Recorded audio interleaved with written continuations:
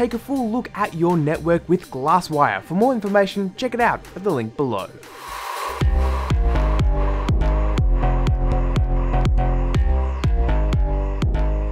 Hey, what's up guys, CPU Modder here, back with another video and today we're back at it once again, busting some PC myths that come up in day-to-day -day usage of the internet, computers, technology and also too comes up in PC conversations, if regular people have PC conversations. Well, I guess Microsoft thinks we do anyway. So let's go ahead and jump into some myths that you may have heard around the internet, prove that they're wrong, and I guess, yeah, prove that they're wrong. So first up, we have paid PC cleaners are the best way to keep your PC running smoothly and on point. Now honestly, that's really not the case. Sure, there may be a couple out there that are actually pretty decent and do what they say on the label, but for the most part, PC cleaners are 99.99% absolutely rubbish and doing nothing good for your computer, completely BS, and generally are then linked to some sort of scam where people are trying to get you to buy stuff. In reality, you don't actually need to buy stuff. Now, the, the way that they actually work is by bombarding the user who isn't exactly tech savvy with really techie terms like registry or file system and adding some scary things on top of it like corruption or fragmentation or even damage. So saying something like your registry is corrupted and damaged sounds really really bad and if there's a solution of just paying $100 and now that it doesn't say that anymore, a lot of people might think, oh yeah, that's gonna fix my computer, but that is definitely not the case. The user will go ahead and pay the money, in some cases 100 maybe even $200, and then the program goes ahead and says positive words like protected, safe, and up to date, which makes the user think that the system is much better. In reality, all that really changed with the program and their computer is generally speaking a virus scan, which can be done for free anyway, and that's about it. Some things move around, some words are said on the screen, and for the most part, nothing actually happens. Now, because the person spent a hundred flippin' dollars on the program, they think that their PC is running faster and a placebo effect does come into play, where they've paid a hundred dollars and wow, their computer must be a hundred dollars worth faster than what it originally was, thanks to this magic program installed on a system. Now, if you actually break it down and think about it, yeah, it kinda sounds crazy, I've just paid a hundred dollars and now my system's faster but nothing actually was done. Definitely does sound crazy, but there's a lot of people who do fall into those traps where the PC cleaners say some scary words and they need to pay some big dollars to get rid of those scary words. But generally speaking, a lot of them just happen to be, I guess, uh, scams in a roundabout way. Now, don't get me wrong, there's definitely a lot of, I guess, cleaning type applications that can actually be really, really helpful out there. Whilst personally, I don't like to use any as I generally can just go into a computer and do it, there are definitely a couple out there that can provide an actual actual decent service that actually do some decent scanning and do some actual work to your system. However, if the packet or the box or the website it comes from is claiming 20% better performance, 100 this, 10,000 that, this and that, generally speaking, it's not going to be doing yourself any favors. In fact, it would be doing the opposite because now you're installing a program, taking up dry space, and also too it's going to be running, which is then slowing down your system. So generally you'll be getting an opposite effect out to that. Great example, I do work in IT repair and I see this all the time where a user has bought one of these kind of cleaning applications and run it and they haven't really noticed a difference. They bring it into the store where a technician like myself looks at it and goes, here is exactly what your problem is and it didn't cost you anything because we're just looking at the computer. So a program like this doesn't exactly replace a proper qualified PC technician and a great example is your car. If your car is due for a service, putting magical petrol in it isn't going to replace a service. Same thing with your PC. If your PC is running slow and got problems, downloading a program and paying someone else $100 to not really do anything is no replacement for an actual IT technician to have a look at it and see what is going on. Might be as simple as just you got too many programs running in the background and a simple way to do it is just close them off or might be something a little bit more serious where you may need a new drive or some extra RAM or something like that in your system. But paid PC cleaning services are really not that great. Next up, we have turning the PC off and on again all the time or just never turning off your computer is the worst thing you can do for the system. Now, unfortunately there's no surefire way to test this. We can't exactly get a computer and another computer run them for like a hundred years and see what happens because let's face it, by the time that happens, whatever comes out in the future will be totally making the other stuff obsolete, so these tests are really hard to do. However, with that being said, if we look say in the past 5, 10 or even 15 years, we can actually see that, well, leaving a computer on or turning it on and off all the time doesn't exactly make too much of a difference. Other than things like your power bill if you do live in an area where power is expensive, and some lower cost fans and some more uh, sketchy hard drives, not looking at anyone's Seagate, uh, there are some instances where yes, leave your computer on for a longer period of time can cause it to die sooner, but but for the most part, most computer components these days are rated 5, 6, even 7 years of usage, depending on what component you are looking at. And I've seen components in system last well over 10 years with absolutely no problems, provided the system was regularly maintained. So turning it on and off all the time really doesn't make a difference, or leaving it on the whole time also too doesn't make much of a difference, provided you're doing it with actually somewhat decent parts. Sure, if you get a computer that costs you like $100, it's probably not going to last as long long, but making sure you look after your system doesn't really matter whether it's on all the time or it's off all the time. There's even people out there that make the argument that leaving it on is going to be better because the electrons flowing through things like capacitors and the motherboard and all those other components can theoretically cause damage by turning it off and on, but the damage is so minuscule you'd have to turn it off and on until the end of time before you'd actually notice any kind of differences here. Now, don't get me wrong, that doesn't mean you can't get a dud part and say in a year's time it might die, but that's not necessarily from running it all the time, that's more because the part was gonna fail in a year's time anyway, rather than any problems there. Great example is uh, a relative's PC that they bought way back in 2005 from a big box PC store. It was basically off the shelf parts that the store assembled and then sold to them, pretty kind of standard deal. It lasted a very long time, something to the tune of 13 years, seeing that we're here in 2018, and it was only ever shut down every six months for a few minutes to go ahead and blow the dust out, and also to when the computer computer crash, which wasn't exactly very often. So for the best part of about 13 or so years, the computer was running. And the only reason why it's not running today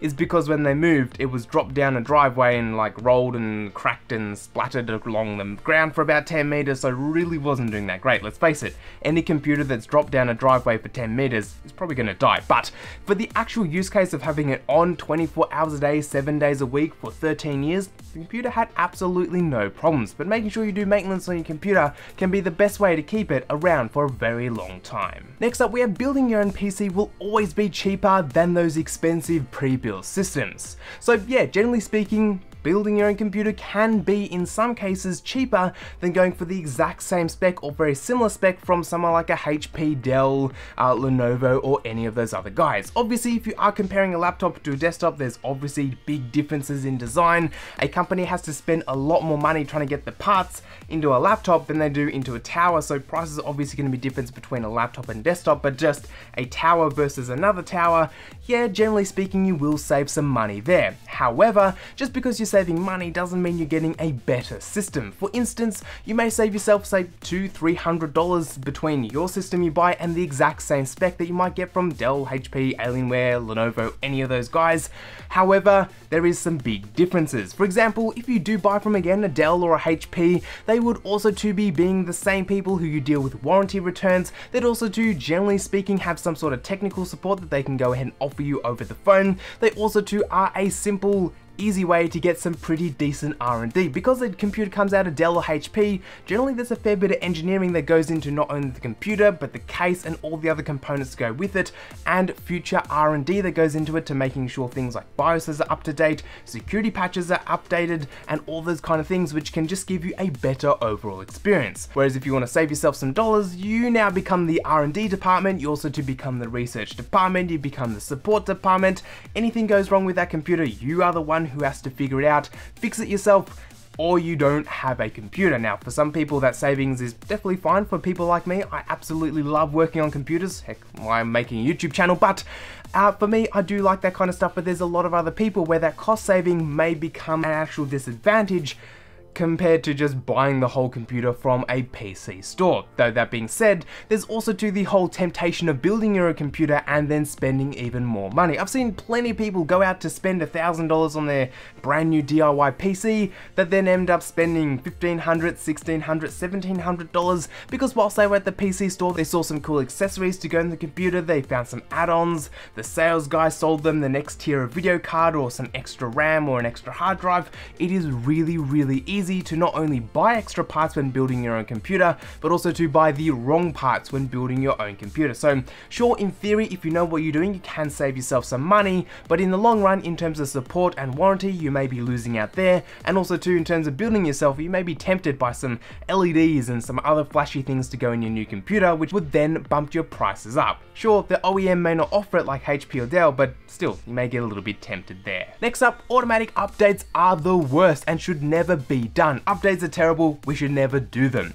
So actually updates are some of the best things you can actually do for the software on your devices, whether it's something like an Android phone like this guy or a Windows PC, Linux device or even a Mac, doing your updates is absolutely really important. Now the reason for this is patching things like vulnerabilities, adding free features to the system and making the platform or service generally better, updates is really a great way to do this. Now Windows is probably one of the more notorious kind of one, a lot of people do know that Windows updates has been very well known back in the Windows 7 days to be slowing down systems and sure that may be true for some devices but for the most of us if you are looking after your system, doing general maintenance, making sure your disks are defragged if they are hard drives or if you're using a super fast SSD, shouldn't have too many problems there.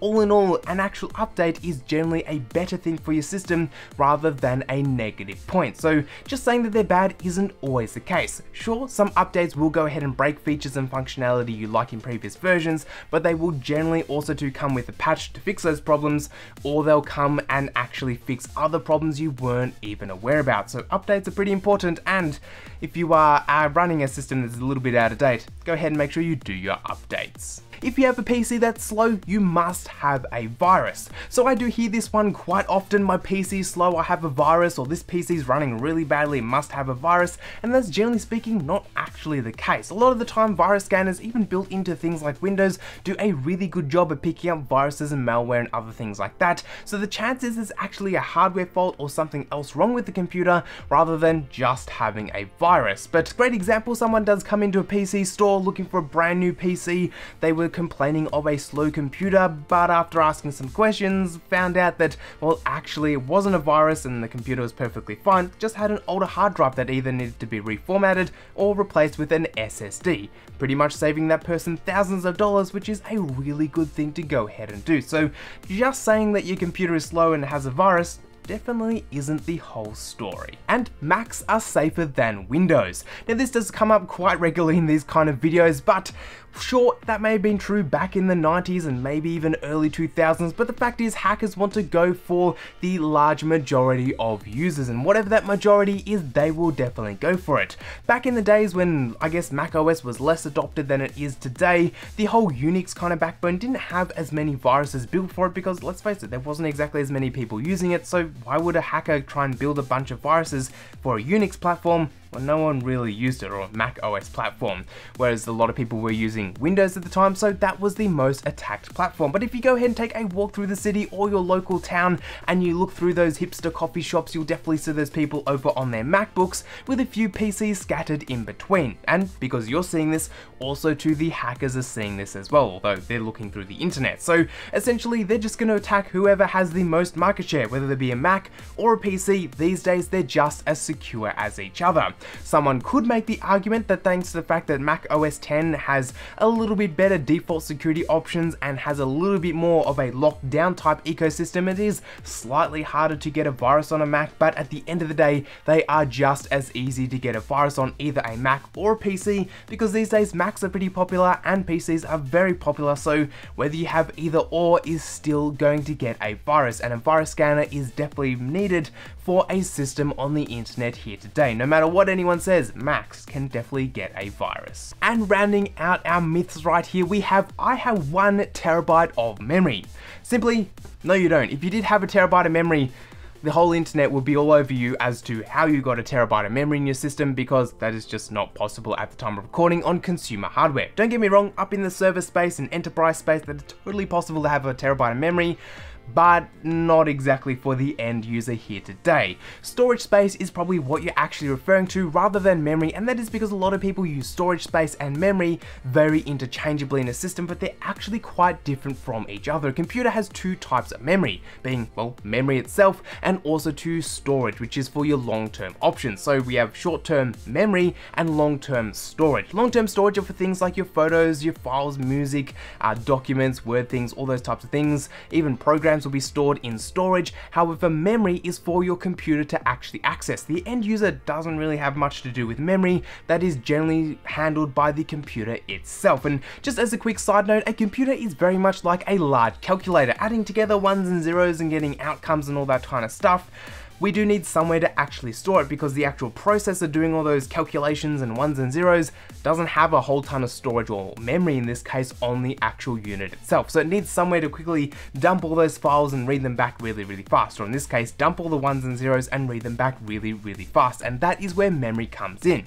Now memory is always a lot less than actual storage because you don't really need a whole lot. Sure, don't get me wrong, in high-end gaming and editing of videos and this kind of stuff that I like to do, sure, a lot of memory memory is needed, but for the average user typing up Word documents, watching some videos and playing games, you probably don't need one terabyte worth of memory. Now yes, to those more tech savvy watchers out there, RAM is a lot more complex than just storing ones and zeros really quickly. Yes, you can do things like RAM disks and all that kind of stuff, but for a very simple explanation, memory is just a quick place for the computer to store stuff and pull it back really fast just like the short-term memory in your mind. Whereas storage is where you do keep things for a lot longer because it is stored for a long period of time and that is measured in terabytes these days. You can have one, two, three, four, all the way up to like 12 terabytes worth of storage at the moment, whereas today on a common system you're only looking at up to around 16 to 32 gigabytes worth of memory. Still, they are ways of storing data, but you just don't really access memory, you access the storage on the system. But there we go, some PC myths that do come up quite often over here on the internet and all around the place,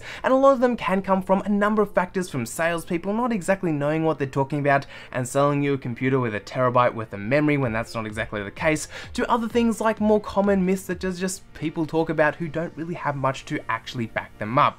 But do let me know down in that comment sections what you've heard around the internet or what you've heard in general. Let me know down in that comment sections. I would love to have a chat with you guys down down there.